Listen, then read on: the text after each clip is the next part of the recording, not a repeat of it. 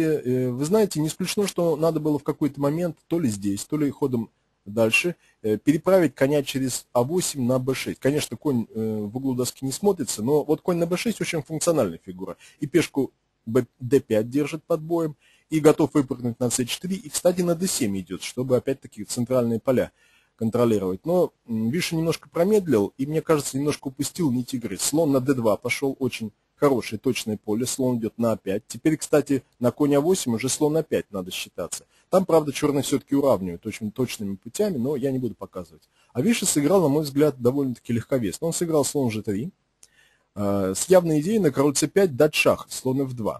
То есть идея вполне понятная. Э, поле d6 свободное, может на него потом конь перебраться, но здесь последовал очень сильный ход g5. И вот здесь выяснилось, что перестроиться э, белый уже черные уже не успевают. У белых возникает очень сильная идея отправить слона на c8, после чего конь на c7 будет подвержен цукцвангу.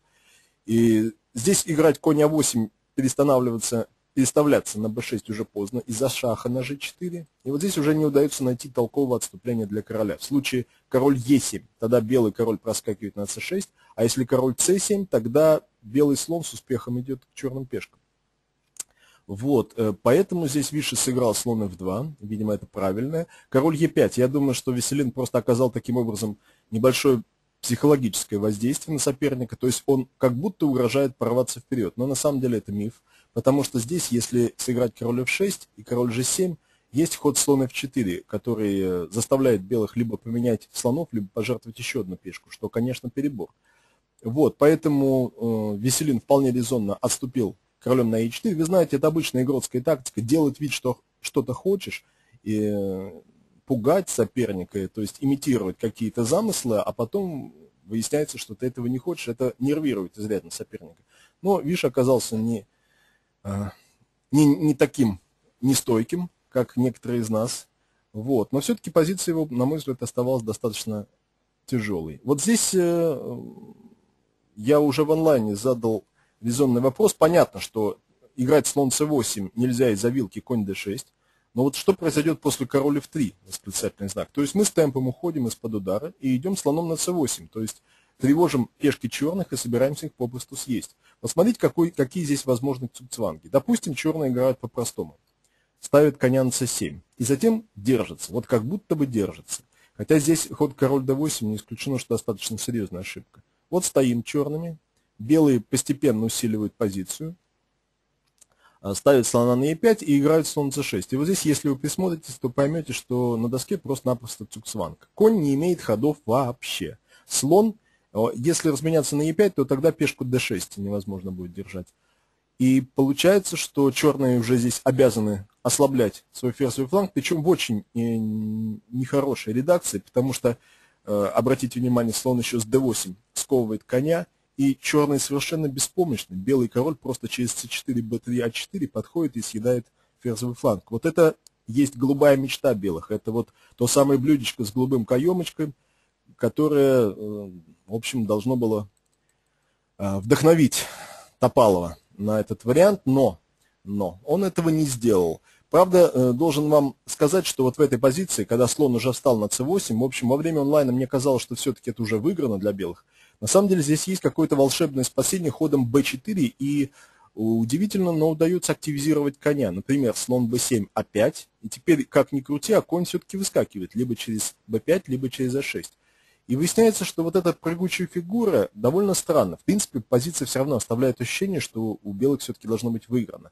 Но конь оказывается достаточно прыткий, и здесь он в какой-то момент идет на c3, даже не так просто белыми усилится, потому что пешка а2 все-таки слабая. Ну, в общем, я считаю, что этот тактический нюанс нисколько не, не смазывает картину, как позиционно опасную для черных. Вот, а Топалов э, увлекся явно неверной идеей. Он сыграл слон Е6. Сама идея пойти на G8 и съесть на H7 выяснилось, что она с гнильцой. Все-таки слон тратит много темпов, к тому же его всегда можно э, запереть королем, когда он съест, э, когда мышка проберется в норку и съест вот приманочку, тогда ее тоже кое-кто съест. Вот. И здесь, видимо, Топалов просто просчитался. Он после короля в 3 очень надеялся, кстати, кстати, я вам не показал хороший вариант. Вот здесь вместо хода слон Е6 Э, после король f3, после партии, э, я уж потом понял, уже когда немножко, знаете, оклемался после онлайна, я понял, что э, Анант мог сыграть здесь конь d6, чтобы на король g3 объявить вилку. Вот, но вы знаете, здесь белые-то не меняли слонов, они играли слон b4, связывали этого коня. И вот эта позиция, на самом деле, очень непростая для черных, потому что раскрутиться здесь не так просто. Вот, допустим, стоим, а у белых есть, как ни странно, конструктивный план. Они надвигают пешку, а затем э, успешно жертвуют ту самую прожорливую мышку, о которой я только что говорил. Просто отдают ее за две пешки. И вот здесь, вы знаете, я стал смотреть, а здесь очень непросто держать белые пешки. Раз, два, три. Три проходные, а черные пешки не идут. Вот очень уже непросто держать эту позицию. Вот, так что суть в том, что вот такое, такая конфигурация все-таки э, представляет для черных серьезную проблему. Так вот, после хода слон Е6 конь d6 шах, король f3, видимо, Топалов на это и надеялся. Ему казалось, что черные обязаны увести слона, и тогда после слон b4 получается как раз вот эта конструкция. Но, э, так как он тоже очень устал, а в состоянии усталости прыжки коня э, зевают в первую очередь, э, собственно, известно, для тех, кто играет хорошо в блиц, известно, что в блице конь э, фигура очень мощная, потому что его прыжки обычно зевают. Вот здесь Последовал неожиданный ход конь c4. И черные очень удачно перестроились. Теперь на слон b4 следует слон d6, и у черных все прекрасно. Вот здесь стало ясно, что худшее для Ананда позади, и он уверенно спас эту партию. Э, вот. Видите, что э, расположение фигур черных стало настолько активным, что они могут себе даже позволить э, надвинуть пешки. Топалов понял, что слону нечего делать на e6, что рывок на g8 здесь уже не проходит. Он, он возвращает слона на e2 но черные успевают э, разменять слонов. Теперь слон f4, слон d6 просто приводит э, к повторению ходов. Ну, Топалов еще изобразил игру на победу, но было похоже, честно говоря, на игру на поражение, потому что здесь уже видно, что у черных уже очень хорошо, и пешка заблокирована, и самое главное, есть перспектива образования отдаленной проходной. Но, конечно, э, на самом деле из э, равенства позиция не вышла, потому что у черных тоже есть свои слабости, до которых может добраться слон было сыграно слон Е2, конь А3. Вот здесь я написал э, достаточно резонно в онлайне, что вместо H4 все-таки сильнее слон D3, но не указал вариант, как же, собственно, здесь происходит борьба. А вы знаете, борьба-то здесь непростая. Итак, черные надвигают пешку, пешки, и белые тоже делают, H5. Вот теперь что делать? Значит, ну пешка висит, берем на H5, берем, слон бьет H7. Теперь пешка G бежит вперед. И здесь выясняется, что в острых вариантах значит, э, обе стороны спасаются g6. Теперь играть b2 нельзя из-за g7. Но есть волшебные шахи. Конь перескакивает.